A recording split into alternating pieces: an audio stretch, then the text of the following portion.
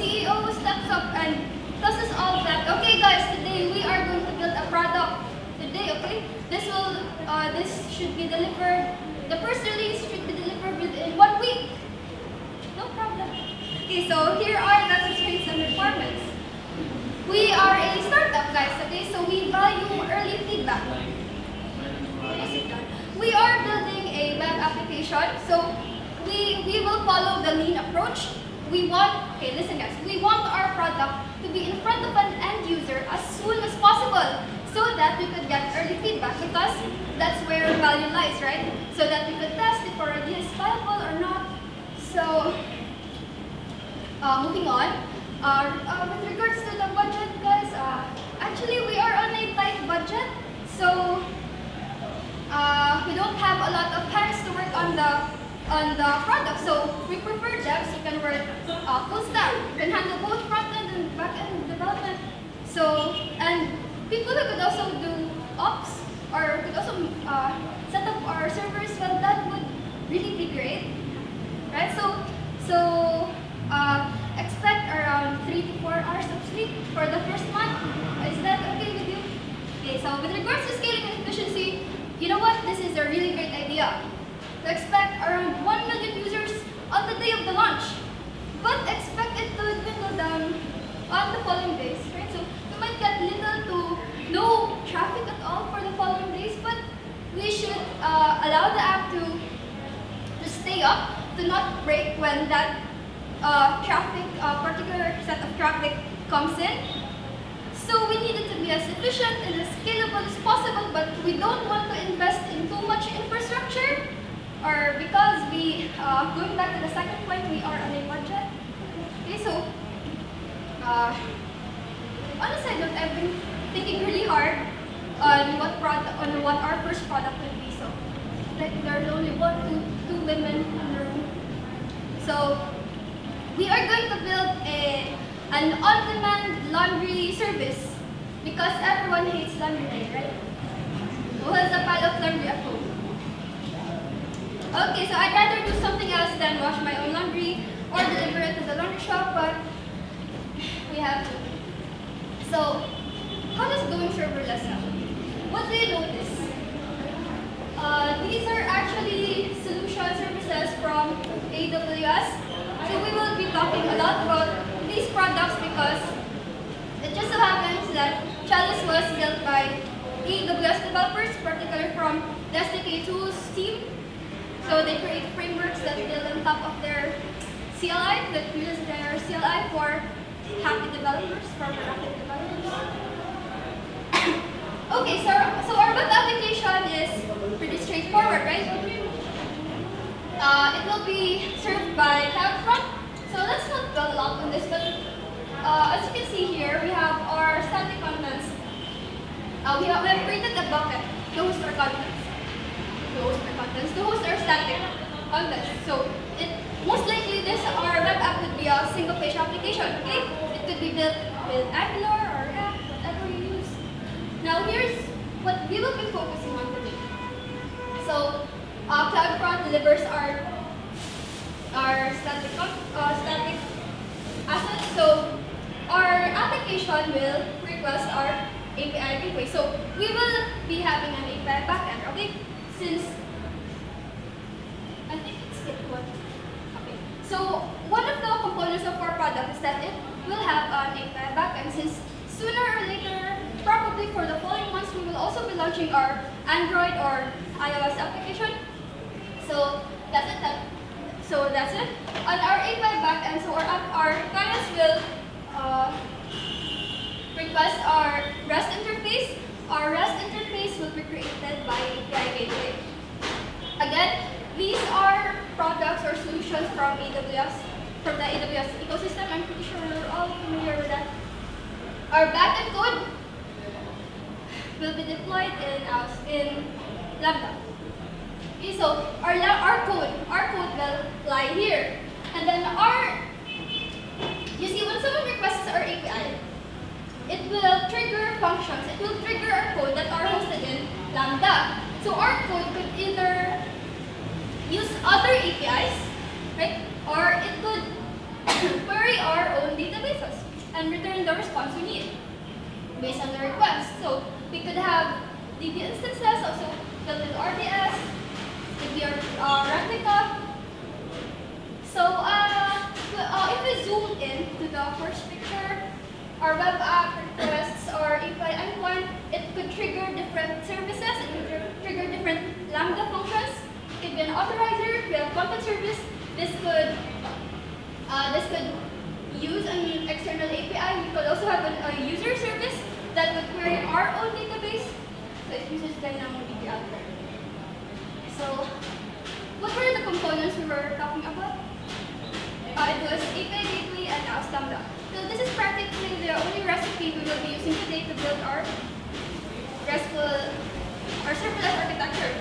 So API Gateway will once again create our our our API interfaces, okay? And Lambda will execute our code as needed. So it's a compute service from AWS. Okay, so how does doing serverless help again?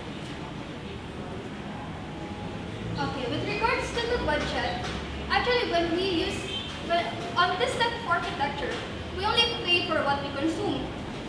We only pay for the for what we use. So we the need to worry about budget, since such architecture will allow, will allow us to play when our code is being executed. Right? So if if someone requests your API, if your API takes around 20 seconds to respond, is that good or bad? That's very bad. I would rather go out there and do something else. So an API uh, execution usually takes around 200 milliseconds, 500, 500 milliseconds. Okay, with regards to scaling and efficiency, even if we get a traffic surge of 1 million requests, it won't, we don't have to worry about that anymore because Lambda scales as needed and it destroys the when it's not being used. Okay, and this, uh, this allows us to focus on our primary goal, which is early feedback. We can we can, such architecture will allow us to only worry about our code or our logic. It will allow us to deliver faster. This will allow us to focus on activities that drive business value. And it also results to happy and productive developers. Okay, so it, it does not look very easy. We'll try to do a demo on uh, inside AWS console itself. So without the use of any tools.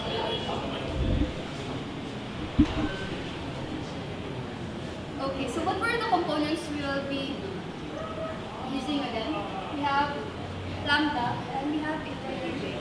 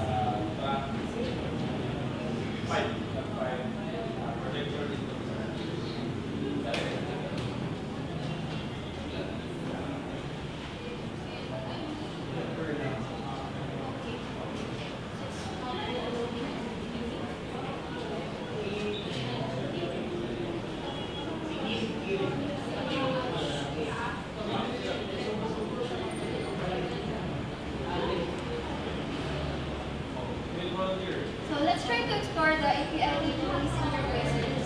So you'll see here are the current APIs I have. It's just a simple pet store sample API. That's usually the example given by Swagger. Anyone used Swagger before. It's, uh, it's a really good tool for documenting your APIs. So...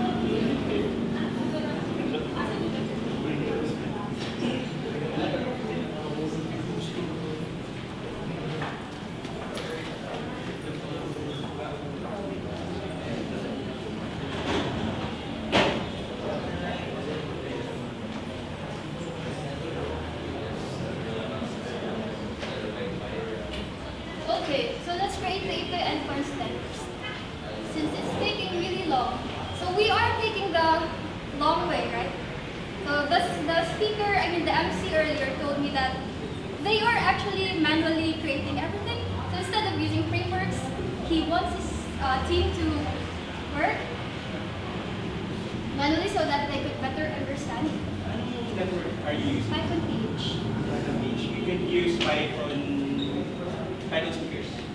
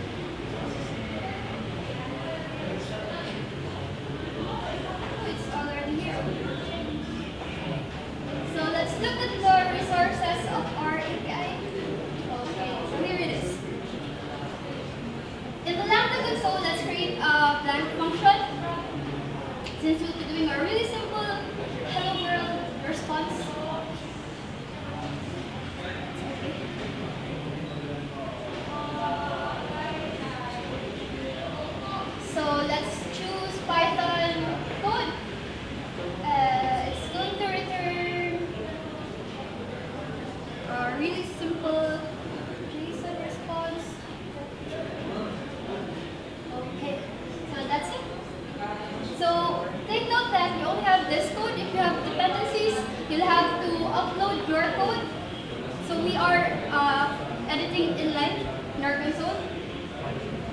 So let's create our, uh, so before we create it, we'll have to choose a role so that we could execute the function.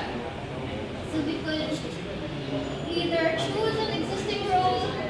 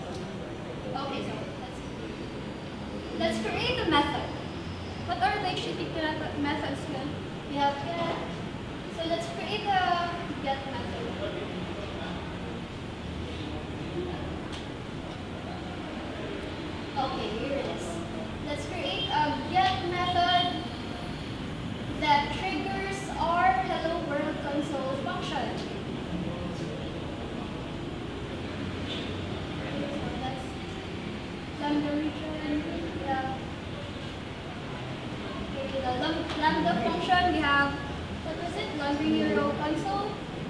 Let's save it.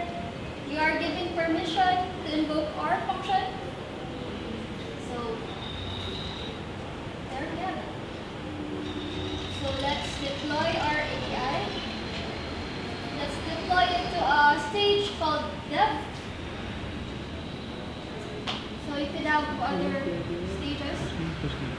So we have the URL right here. It's- so if we try to, okay, so if we if we this API,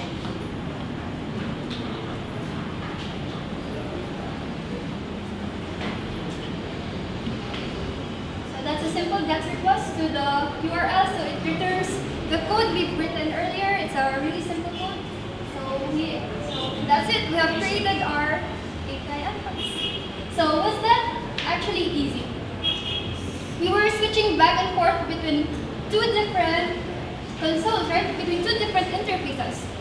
You said it was easy, but what if you have several services? This is just a single service. This is just a single Hello World service. What if you have a different service for your users or your or for other functionalities of your app, right? So let's move on with the Okay.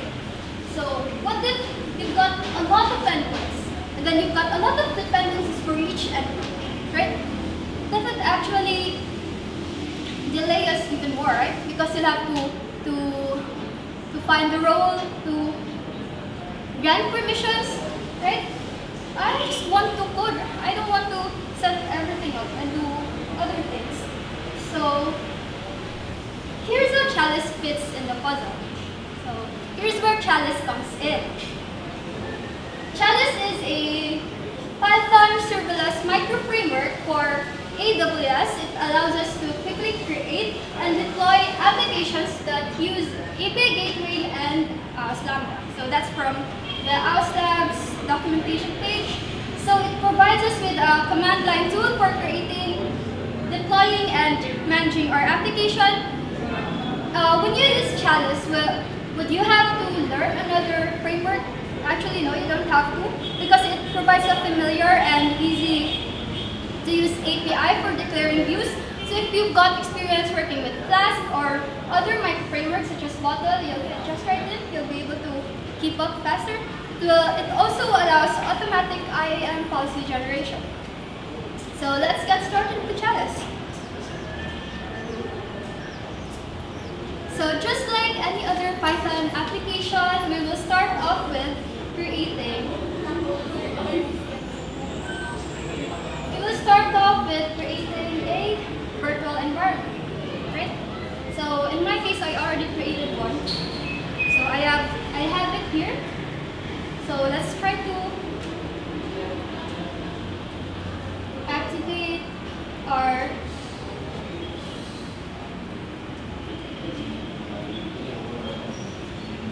our virtual environment, we're going to install Chalice. So Chalice is already installed. And then we'll create our our application. We'll create our we'll start creating our services. So how do we create a service using Chalice? You'll only have to do Chalice new project. Uh, hello. Hello. Mm, Laundry hero.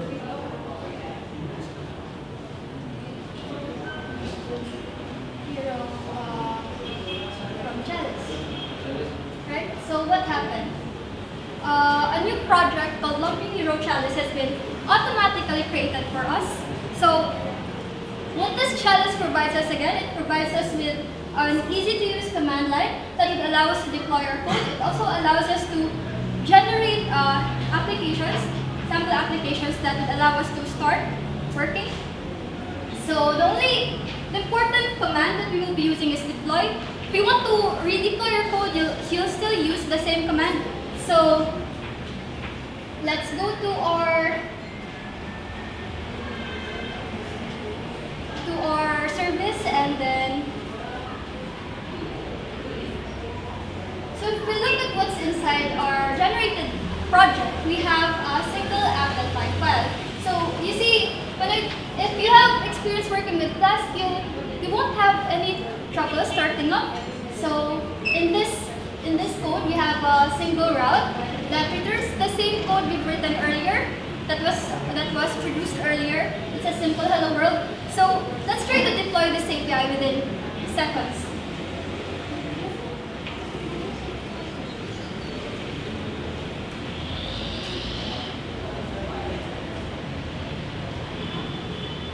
One thing to note though is that on the first deployment, it usually takes a little bit longer because uh, uh, rows, uh, your first package is being generated. So the succeeding deployments aren't usually that uh, that slower. That's slow because Chalice is already smart enough to know that we've only changed this part of the code, so some parts are already cached. Okay.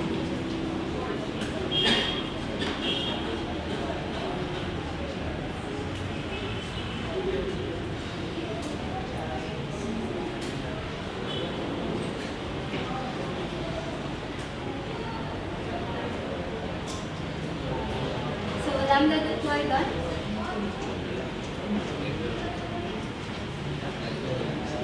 See, first time deployment.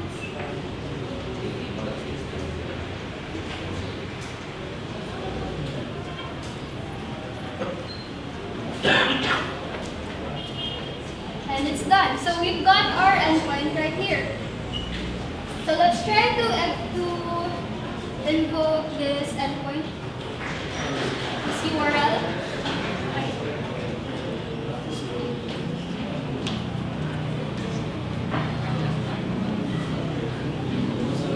And we've got our code up within seconds. So that's how, how great a tool, a Python tool like Chalice is.